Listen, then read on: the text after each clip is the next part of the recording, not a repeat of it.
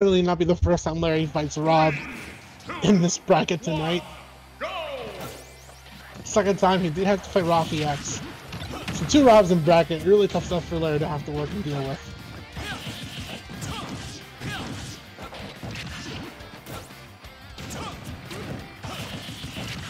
There's the forward out of shield, catches 8-Bit Man on that situation here. Oh, careful spot, yeah, that's tough. Because he has to worry about fighting for Rob against Rob down air, and three spikes is all she wrote there. Eight, first stock going to 8-Bit Man.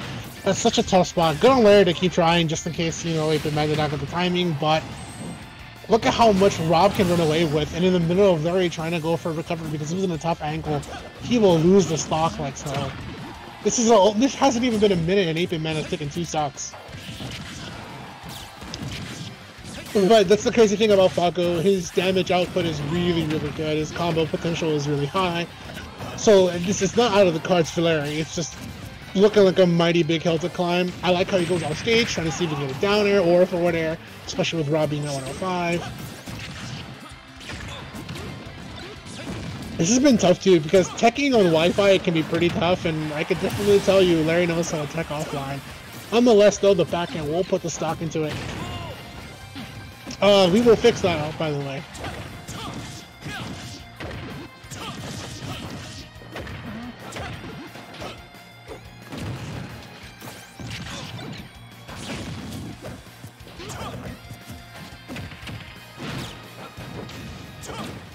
It is winners semis, but there's an extra W on that side. Don't worry, we gotta fix that here for you guys. Up tilt, this is back air, yep. Larry looking to even up the stock deficit here. I like how he's still fighting off the stage. He did drop gyro, but up tilt will do it. I think that was up smash. Yeah, that was definitely up smash. Yeah, goes back to what I was telling you. Uh, Falco's combo potential, damage output, it's really high, so it's it's all about how Larry keeps his composure. But unfortunately, the tail end of neutral air will be the end of game one, and 8-Bit Man takes it for the 1-0 and a neutral air do it. Uh, it's a tough matchup, but yeah, like I said, it all depends on how Larry can keep his composure. It's it's not that hard. I mean, like I said, Falco can definitely dish out the damage and put himself in a position where he can still make this very, very doable.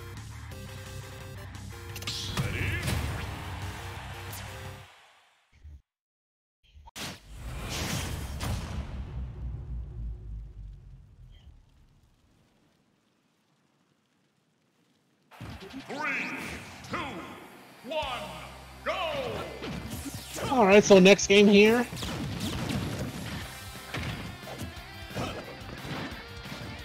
Crazy thing about down air is they can now also cross up. Oh no, Larry, no! Larry, not again, not like this. Not like this.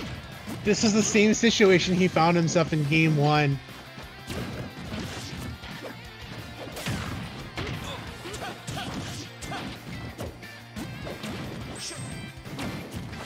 This is very rough.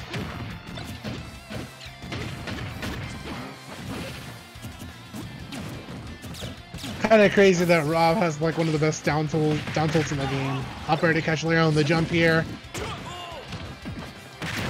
Caught the roll, yep. I respect it too because like Larry doesn't want to be in disadvantage, but it's really tough there. If it's kind of a damned if you do, damned if you don't scenario here. Once again, 8-Bit Man with a three stock deficit and a three stock lead. Kind of redundant there, but that's how it feels against Larry, right?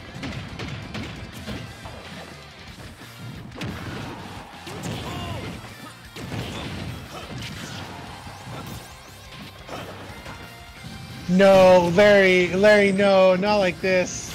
Not like this. Not like this. Like, he had to go for the edge guard because it's a risk reward factor in which he could definitely come out on top, but like, Oh, it's just so hard to watch.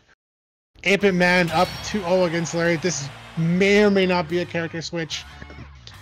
I can definitely see this being maybe a, a, Wolf potential, but even then, Wolf can have a tough time against Rob. I still respect Larry going for Falco, though. Like I said, damage potential and combo potential is very high for this character. And a lot can happen within a grab for Falco or an up tilt. I would love to see Larry go Wolf, but like I said, if it's just as bad for Falco, it can be just as bad for Wolf. All Wolf can do is just dish out, dish out more damage and knockback, and that's not to say that Falco can't do that. Oh, this was this was a really big corner carry for 8 Man. Not a stock, but with 41% on the board here on against Larry, climbing up only higher. 8 Man put himself in a good position, caught the jump here because Larry does not want to be in disadvantage. Yep. Fire Falco angle. He had the right angle, but unfortunately that's easy pickings for Rob with Falco off stage.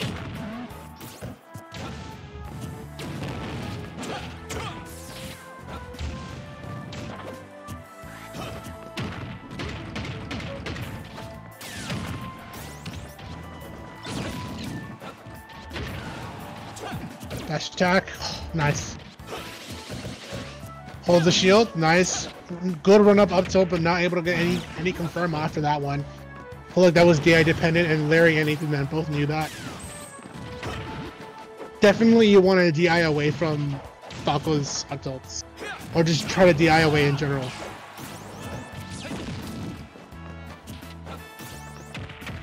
Nice, good empty hop. Able to grab. Very slowly inching in there, 108. Closer to the back air, I, I definitely appreciate it. Larry wasn't risking too much right there in the situation.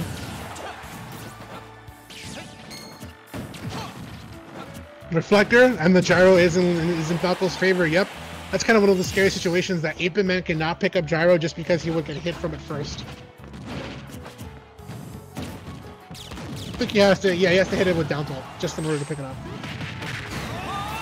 I know Larry trying to come back center stage, and that's easy pickings for 8 Man. That's kind of one of the scenarios where like Larry wants to probably try to come back through the edge instead of getting juggled or losing the stock, but be, going back to disadvantage or back to the corner to try to survive is really rough. Especially as we've been seeing these past few games against 8 Man.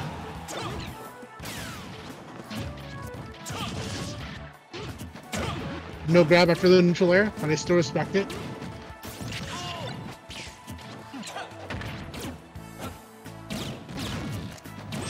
They're looking to try to inch his way in there with stage control. Slow and steady, nice. Good empty hop. This forces out 8 Men to go out with an aerial. Double up airs. Oh no. Rob neutral air has just such a late hitbox, can catch you off guard also. Back air. Larry's working on it here. He can get the stock here. Forward air, that'll slowly put it in his favor here. Stage control in Larry's hands. He has to be careful. I like it. Moves away so he doesn't have to worry about robo arms or an up tilt.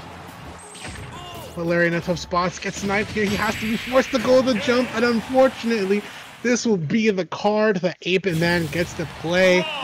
What is this matchup?